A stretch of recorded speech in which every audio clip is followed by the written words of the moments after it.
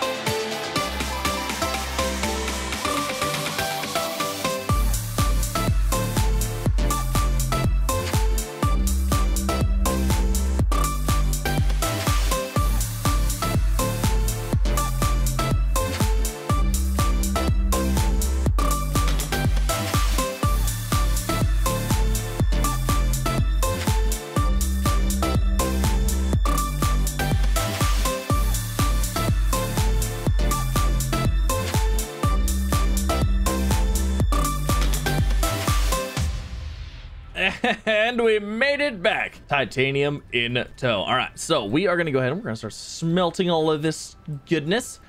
And that's gonna give us the storage that we're gonna need for the most part. Uh, now, I do have three more of the ceramics, so we're gonna go ahead we're gonna make those two. Can we like rotate that? Thank you. Perfect. All right. So we have that, and then I should have a little bit of room for these guys. We're going to go ahead and make a large storage as well, just to make it and get it done with, because we're going to need two of them for our rovers anyways. Now, I have thought about actually just packing up this rover and taking it with us, but we use it way too much here anyways. So we're just going to go back to Sylva. We'll make two more. It'll be fine. And we have a medium or we have a what is, is this medium? Medium storage silo. Full of medium storage silos. That means we have 24 medium storage storage silos at the rate. Wow say that real fast. Medium storage silo medium storage silo medium storage ah, accurate it's not that bad. All right. Anyways so we have those guys. Now one of the things that i am going to need i am going to need graphite. I'm gonna need a lot of graphite. So Uh, and that's because we have to repackage things. We have to package things in order to send them off, I do believe. So I am going to go through. I am going to try to get some graphite while we're here. We're already on Glacio. We might as well try to get some. All right, so since those are done, I'm going to go out. I'm going to try to get some graphite. Now, graphite, man, it's kind of getting a little scarce around here around my base area because I have been using it for uh, for packaging the storage things. But I'm hoping that we could get lucky and find a little bit. So I'm going to get those knocked out. While we're, uh, we're here, I, I would like to get three storages full of graphite. I don't know if that's going to happen. I might end up saying heck with it and quit because it does. Sometimes, you know how it is when sometimes you just can't find something and it's just, you know what, you're just going to come back to it later. Well, it might be the case. I don't know. We'll have to see. All right, so I got all of the graphite that I need. I went out, I went the extra mile, and I found it all. Darn it, I did it. We made it happen. Now, as I was on my way back, I was thinking, I was like, you know what? This rover likes to place soil where I don't feel like it would normally place soil. So we're gonna do a little bit of a test here. Uh, you guys are getting a little extra extra here. We're gonna we're gonna run through here. We're gonna pull back. Uh, no. Okay, never mind. Well, so anyway, what, what was what was I testing? Um, I wanted to see if it would place soil where there was no soil for it to connect to. If it would just place it in midair. And the reason I wanted to test that was because you know how we like to ramp rovers off of planets. Well, the next better thing would be to make our own planet by ramping a rover using this guy, placing some soil down, and voila! You have your own planet because you have to have a soil source nearby. And soil only places out to a certain distance. So I was curious if this guy was uh, was breaking any of those rules. Unfortunately, it's not. So, um, okay. We are going to head back to our shuttle. And then we're going to head back to uh, our Calidor base, drop the things off, and hopefully, hopefully get two more rovers built and get things ready to rock and roll. And we are home. Oh, it feels good. You know what? We just leave the rover right there. It's just fine. All right, so we're going to place that on there. We're going to leave the soil here because we don't need the soil. We're going to grab the medium storage silo full of medium storage silos. Uh, place that right there. And... Uh, I wanted this storage too. You know what? We're going to take this storage too. I don't even care. I'm doing it. I'm taking it. You guys can't stop me. Uh, okay, hold on. We got to get that. Okay. All right, cool. Why are you sideways? What are you even doing? What are you even doing with your life? All right, so we have this guy. This guy's good. Uh, we have three storage cells full of graphite, which means we're going to have three storage cells full of uh, packagers, repackagers. We're going to go drop those off on Calidor. Fuel looks good on the rocket. Fantastic. We're going to drop those bad boys off and then we're gonna go grab uh, two more large rovers and bring those to Calidor so we can have a mobile situation for the updatey stuffs. And we're on Calidor. Look at these beautiful little cacti over there. Oh, they look so darn cute. I love them. I love them so much. All right, so we're gonna throw this guy on here. Come on, connect. Thank you. And we'll throw, uh, well, we need to bring this whole thing over there. So we'll just use this guy to transport the storages over to this area.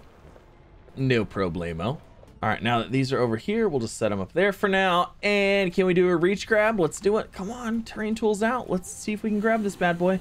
Joe, if you're watching, I swear I better not get banned. Caught a live stream from Joe, and he was talking about, he's like, anybody I see do the glitchy, hacky reach grab thing, you're gonna be banned. You're done. And I was like, no! I was super sad. And that came after he said that anybody doing the uh, the Z1 shuffle was going to be banned. You guys know what the Z1 shuffle is? Well, guess what? I will show you. I will show you right now. So back in the day, well, I mean, even now, you can grab this guy and you can carry it and run and you can do the whole little jumpy bit. And I mean, it works. But if you want to get like maximum, if you want to min max it, right?